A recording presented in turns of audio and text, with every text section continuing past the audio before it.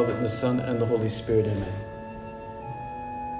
My Lord and my God, I firmly believe that you are here,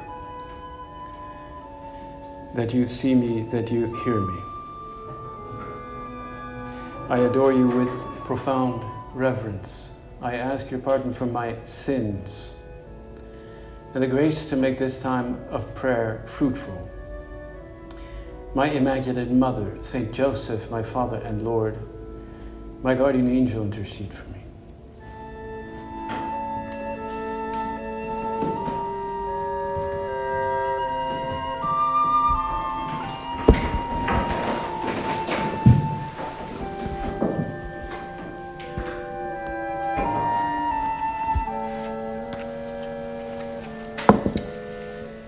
Today, in the presence of God, we want to prepare for tomorrow, which is Sunday, by examining in a little bit more detail or perhaps with greater openness of mind and of heart the gospel of tomorrow.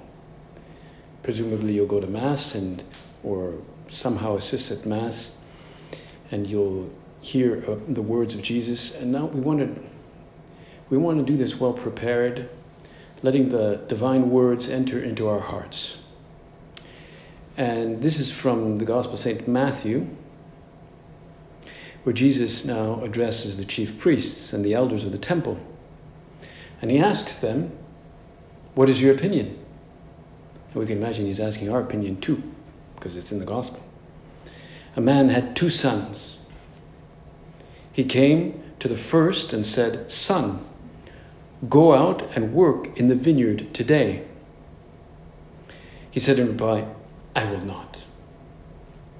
But afterwards changed his mind and went. The man came to the other son and gave him the same order. He said, Yes, sir, but he didn't go. Which of these two did his father's will? They answered, The first. Jesus said to them, Amen, I say to you, tax collectors and prostitutes are entering the kingdom of God before you. When John came to you in the way of righteousness, you did not believe him, but tax collectors and prostitutes did. Yet even when you saw that, you did not later change your minds and believe him. Other translations say, they don't say, you change your mind other translations say, you did not repent. And even after the words, it says, unless you repent, you cannot enter into the kingdom of heaven. So let's stop now in the presence of God and consider the scene of these two sons in the field. Because our Lord wants us to think about this and apply it to our life as well. He wants us to, to examine our heart. Which one of the two sons are you? One said very dutifully, very correctly, he seems to be the good one. But in the end, he was not good. He said, Oh, yes, yes, I'll do it, but he doesn't go. He was not truly docile. He was apparently docile, he was apparently good, apparently obedient, but he wasn't actually obedient. He only seemed good and dutiful and obedient. He seemed like it. He had like, like a facade. Now, to say yes is a good thing, but it always has to be followed up by true deeds. To love God in truth, in acts, and in, and in deeds. Remember that story of Saint Josemaria who was kind of carried away by love for God and a real desire to love Jesus really a lot. He was, he was given the task one day of going to celebrate Mass in a convent somewhere. And in those days, I think it was with the Carmelites, the Carmelites would be behind a grill, like they were cloistered, so they weren't like in a cloister and they were separate from the world, and you could only, well, you could only see them behind like a literally bars. And and they were they had this reputation of being super super good and holy and sacrificed and and uh, they prayed a lot and he saw them and he was like, whoa, these are super holy nuns. I mean, these are, whoa. But then he was himself taken up with a desire to be holy himself. And as he was giving communion one day, he said, Lord, I want to be, I want to love you more even than, than these holy nuns. As he was giving them communion, I want to love you even more. And he heard kind of a rebuke from our Lord himself who said, he said, deeds are love, eh? not just sweet words. Eh? Deeds. I want deeds. Hmm? Well, the other one, that, that, that, that son who had first said nice words, good words, yes, I'll go, I'll go into the field, but didn't go, didn't give the Lord good works. But the other blurted out what he felt at the moment. He said, ah, I'm not going to go, forget it, it's too hot, it's too many, too many things to do. You know, I, I, I, have, I have a whole Netflix series to finish watching, right? It was like a brief spasm of distaste for the hard work, for the duty that his father proposed to him for doing something hard, for doing some duty, something maybe unpleasant. And maybe indeed he was quite lazy, lazy about that, that idea of having to do a chore. Maybe your mom or your dad asks you, can you do this chore? Can you clean the dishes? Can you rake the lawn, the, the, you know, the garden? There's a lot of leaves falling. Can you start raking like right now? And we say, we may blurt out and say, I did that last week. Yeah, but the leaves, they pile up. Well, this guy, though he said no at first, he simmered down after a little while, after his initial reaction, and he realized he was wrong, and there he did indeed go out. And he went into the fields and worked hard. And um, I would suspect that his father saw him go out, probably saw, oh, there he is, okay, he blurted that out, but he's a good boy. Mm-hmm. Surely he was not going to go out in secret. He just, he just repented he changed his mind. He converted. And it's that it's at that moment when Jesus speaks about those entering into the kingdom of God, those who are turning to him, like tax collectors, like St. Matthew, he was a tax collector. And tax collectors, they in some way collaborated with the Roman authority and they were despised by the by the Jews.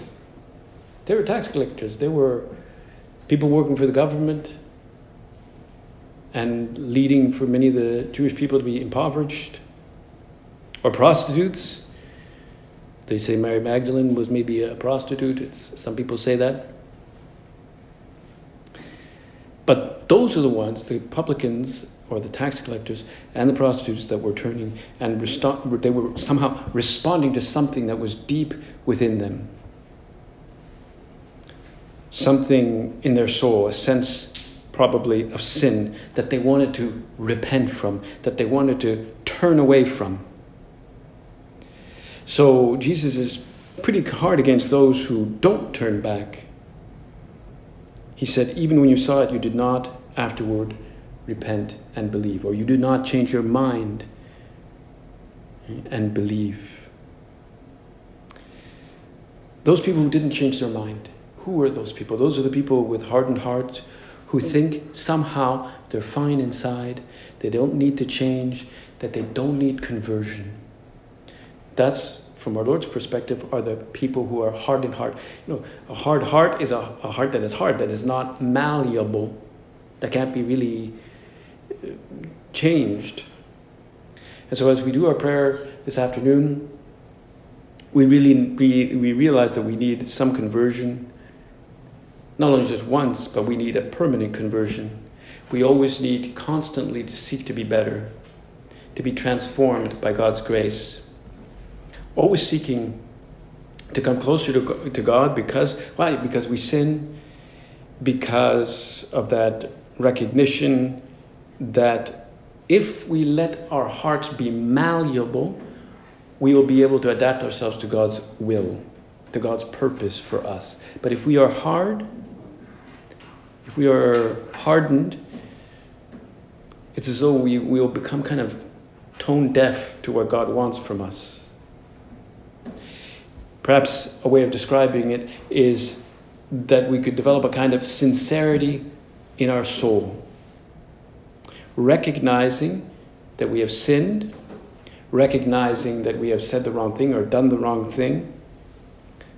Maybe we externally said yes, but inside we said no to God. Maybe externally you look good, you look nice, you say, you know, you do maybe apparently you say the right thing, but inside you're not really praying. Inside, maybe you go to Mass even, and externally you're all good, but inside you're not even praying. You're not even making an act of love.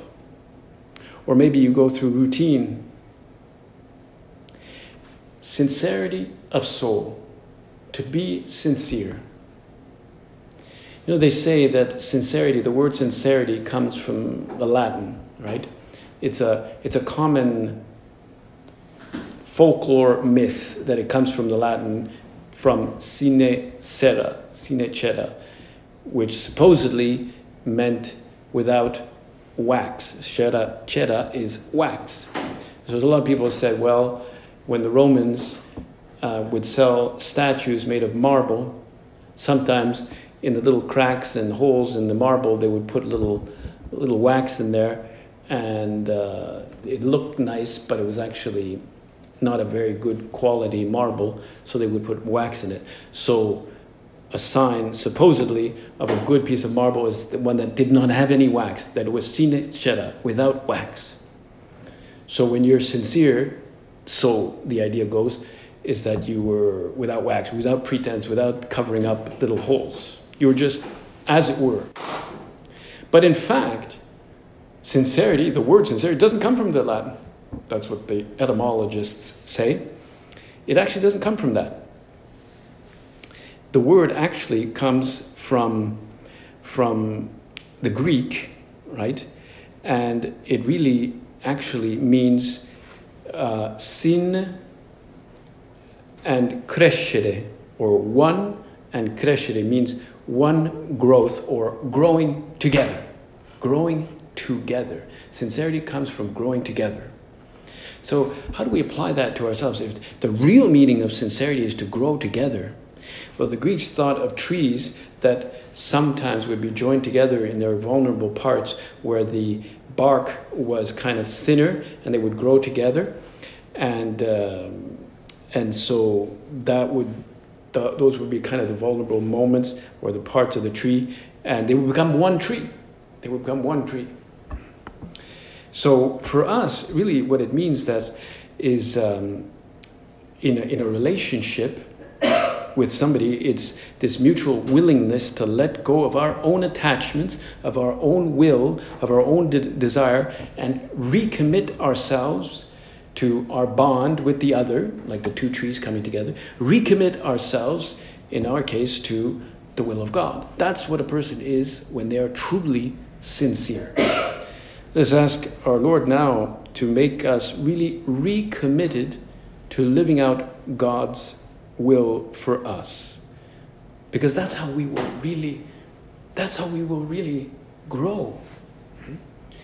The, this, this permanent ability to grow. Crescere, that's what grows, that's what crescere means. It means to grow, to go higher, kind of go up like the inclined plane of one growth. And one beautiful way to do to, to grow like that is to make sincere acts of penance or sincere acts of repentance. It's like a decision, a firm conviction not to sin again. To take on that invitation from God, like God the Father, to work in the vineyard Jesus is asking you, go out into my vineyard and work there. What does that mean? Well, maybe it means working against our defects. Maybe it work it means to grow in the in the virtues like kindness, like hard work, or even like apostolate. Or just our ability to listen and engage with others. That's what it means to go and work in the vineyard. And maybe we haven't always said yes to God, like the son who said, um, you know, no, I'm not going. I'm not going to work in your vineyard. But then we repent and we go. That's what we should do. We should repent now in front of our Lord. Repent for the times we said no and go. Go into the vineyard. But each one of us can identify what is that vineyard? What is the vineyard of the Lord? What is the virtue that I need to work on? What is the defect that I still have to work on? We all have defects. You know, we're part of the club. Everybody has some kind of defect. Maybe we get angry easily. Maybe we get very impatient. Maybe we're kind of like lazy. We don't like to do our work or our homework or stuff like that. That's why we have to be totally, utterly sincere when we go uh, to confession. Not only with the priest, of course, we are sincere with the priest, but of course, above all, with God and with ourselves. We have to be sincere with the priest, we have to be sincere with God, of course, and with ourselves. Well, first with God, then with the priest, then with ourselves, or whatever order you want to take it. Hmm? And strictly speaking, the, the priest has to be con convinced that there is true con uh, contrition when he hears somebody's confession. For the validity of the absolution, he has to, he has to like have a sign that the person is contrite. Right? That's why recently the Holy See put out a kind of a document about people asking for for uh, anointing who were going to um, have uh, euthanasia on them. People were very sick and they want they want to die before the time, and they said, "Well, I want to die. I want the doctor to give me a special injection so I die, but first I want to be anointed and go to confession." Oh no, that's not going to happen.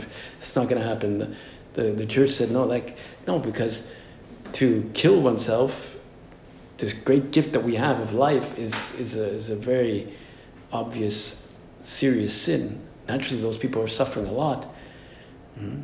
and it's very hard on them. But they cannot, you know, continue in this.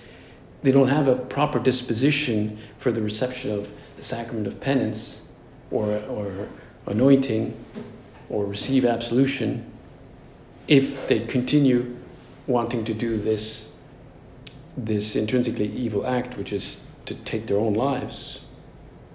And now I don't suppose this is going to happen to you. You're not going to, uh, you know, undertake euthanasia, but we have to make sure that we kind of cancel whatever decision we have ever made to sin. We can say to our Lord right now, No, I want to go out and go to your field and work in your vineyard, Lord. I want to work in your vineyard, even if it's hard. I'm too weak. I'm, I'm, I may fall, but that's okay. I'll just get up again and keep at that vineyard.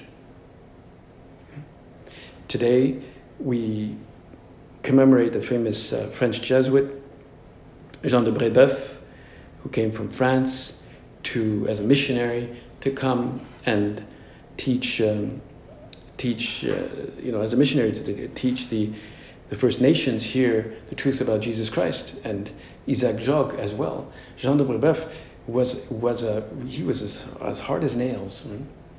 and he really gave of his life, and they almost killed him. And in fact, he went back to France. He had all his, his fingers, uh, uh, you know, cut off when he was tortured and he had to get a special permission to be able to celebrate Mass without fingers. Imagine, he went back completely destroyed. And he came back pretty much like a vineyard, like, like a vineyard, like, like a hero, like a hero. But he wanted to continue in the vineyard of the Lord, and he went back. He went back to Canada. And that's where, well, he eventually knew his end. He was eventually um, martyred there as was Isaac Jogues and many other uh, of the Jesuit martyrs of that period. Some died in Canada, some died in the US. So let's ask our Blessed Mother to give us the drive to repent any, any time that we see that we've done something wrong and say, no, I want to go and work in your vineyard. And to try to see what does it really mean to work in your vineyard, Lord. Maybe I haven't uh, fully identified what that is. Sometimes the vineyard is just to be docile to what my parents ask me, to, to do my schoolwork, to pray, to be faithful to that. What does it mean to work in your vineyard? Maybe you can identify that in spiritual direction. What does it really mean? And if you've said, No, I don't want to work in your vineyard, now is a good time to begin again and uh, to go out, even though it's the heat of the day. And that's, that's really what it means to repent. And our Lord always gives us absolution, always allows, uh, forgives, forgives us, even though we may have said no at one point. He always receives us with open arms, just like He received the prodigal son, the story of the prodigal son. When the prodigal son was on his way back, the father came running out and just covered him in kisses. And of course, that prodigal son, though he, he had left the vineyard, came back, was accepted, was given a big party, but then also he would go back and work. Our Blessed Mother will intercede for us so that we become true workers in the vineyard.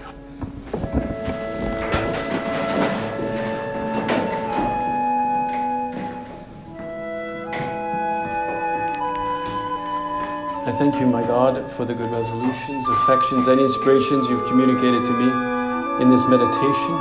I ask you help to put them into effect. My Immaculate Mother, Saint Joseph, my Father and Lord, my guardian angel, intercede for me.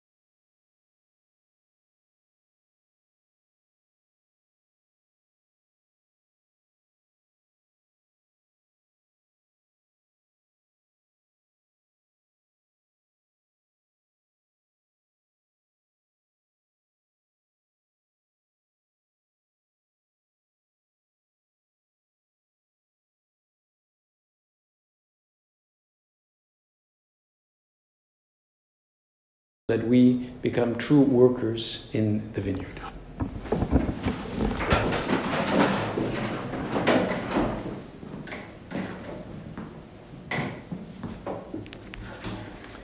I thank you, my God, for the good resolutions, affections, and inspirations you've communicated to me in this meditation. I ask you help to put them into effect. My Immaculate Mother, Saint Joseph, my Father and Lord, my guardian angel, intercede for me.